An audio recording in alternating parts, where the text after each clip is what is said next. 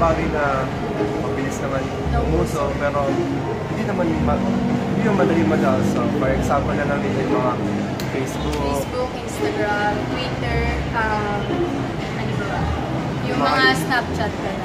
uh, example na din naman na naisip pa You- YouTube for other purposes. Ang friend para sa akin ay isang bagay na sumikat na noon pero hanggang ngayon sumisipat pa rin sa mga gustong bumili nito at sa mga, may, may mga gustong bumili nito. I can see that they think is fun kapag lumabas nga siya, pero after some time, magiging laos na din. Pero but then yung mga trend, yun yung parang nauuso, pwedeng mawawala, tapos babalik ulit. Ah, para sa para mo sa akin yung trend, uh, nagiging trend yung isang bagay kung ah, naging bago yun para sa atin. Kasi ah, hindi mo masusundan yung isang bagay kung ah, hindi yung bago sa paninig natin or bago sa ah, yun, bago, bago para sa atin. Ah, nagiging fat naman yung isang bagay kung ah, umuso yun kasi ah, bago yun para sa atin.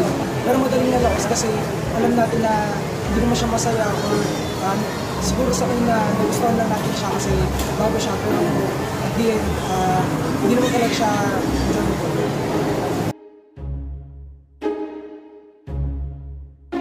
Na nakaka-apekto sa akin sa aking mga pagbili at sa aking mga desisyon ay kadalasan yung mga kaibigan ko. Kasi, yun nga, pag nakita ko silang may ganitong bagay, minsan napapansin ko, ay gusto ko yung ganitong bagay. Pero minsan naman, inisip ko rin yung sarili ko kung makakatulong ba talaga yung bagay na yun. Nga sa Facebook. So, parang ano kasi, ang pangit, parang mas maganda yung mas active ka din or mas updated ka rin na nakakapag-Facebook ka like others na parang yung iba kasi parang hindi pa sila nauusuhan ng mga Facebook or mga Instagram. So, parang para sa akin, mas maganda yung ano, mas ano nga, updated ka or kasi nga syempre, ano na rin tayo, mga teen na rin tayo, mas mahilig tayo sa mga social media. Uh, so nagiging reason na rin yan para uh, makiuso yung mga tao. Kasi way of communication na rin kapag malayo yung mga kamag-anak Ito mo. mga anak or friends. Oh, Tsaka lahat, halos lahat na rin naman tao marunong gumamit ng Facebook. So doon na rin nila nag-express yung kanila sa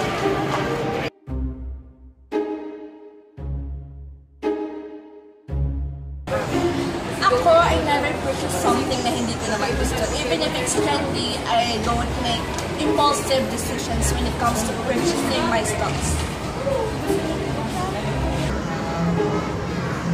Ako hindi pa ako nakakaranas na bumili ng ah, trendy siya. Kaya bibili ako kahit na hindi ko kailangan. Kasi ah, kagaya nga sabi ko, ah, mas gusto ko inuunang bilhin yung kailangan ko, yung needs ko bago yung want. So kahit trending pa yung bagay, pero na lang kung magugustuhan ko, tsaka ako lang siya bibili. Pero sa ngayon, ah, hindi ko naman natatry na bumili ng something na trendy, pero ah, hindi ko naman kailangan.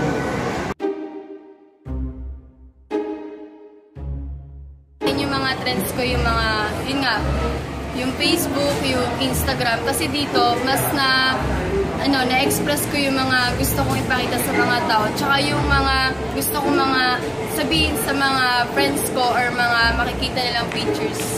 Yun. Um, naghahanap ako ng trending siguro sa mga classmate ko nga at sa mga kaibigan ko sa ibang lugar at pag napapansin ko yung mga tao kadalasan may parang isang parehas na gamit yun kaya naghahanap ako ng bago yun para mabili ko rin siya Ako kasi, hindi porket trendy, ko na. Siyempre, for example, it fits my personality. Saka lang ako may kinuso, gano'n. Ah, sa tingin ko yung trend, uh, gugustuhin ko lang siya o fit siya sa life- lifestyle ko. For example, ah, yung trend naman kasi pwede siyang maging pangangailangan mo. Pwede siyang maging wants kasi yung trend hindi siya laging needs. Ah, yung trends, magugustuhan mo kung makakatulong sa iyo or pangangailangan mo siya. So, yung trends ay susundan ko lang kung mag-fit yun sa lifestyle.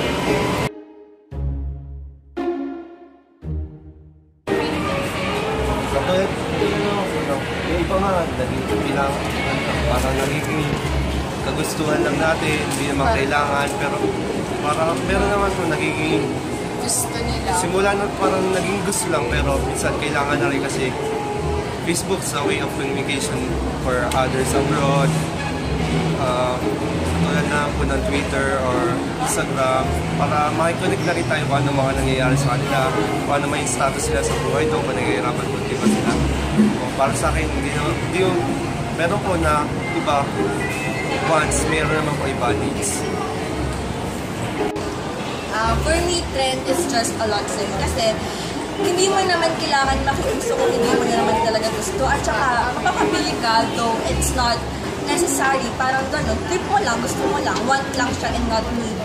Ah, kagaya ng sabi mo, ah, yung trends ay pwedeng maging pangangailangan mo kaya mo siya susundan o pwedeng uh, magustuhan mo lang siya kaya maikisabay ka sa trend. Pero sa tingin ko, ah, hindi mo sasabing ang trend is always ah, about luxury. Pwedeng ah, yung trend is maging needs din natin kaya natin siya sinusundan. Para sa akin, hindi naman ganun kailangan maging isang follower ng trend kasi um, minsan, yun nga, sasabihin na makikiuso ka lang pero hindi man talaga bagay sa buhay mo.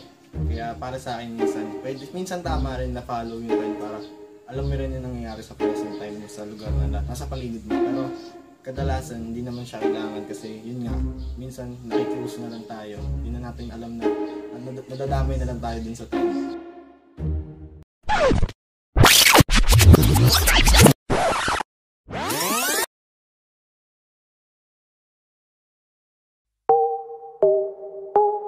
now, we've heard their opinions about trend and fads. Let's put it in a nutshell. A trend was hip or popular at a certain point in time. Trends have much longer lifespan. It could last for at least year or even decades. While a fad, short-lived that it could only last less than uh, a month. Trends are smartphones, social media, while the fad is Ice Bucket Challenge and selfie sticks and the loom.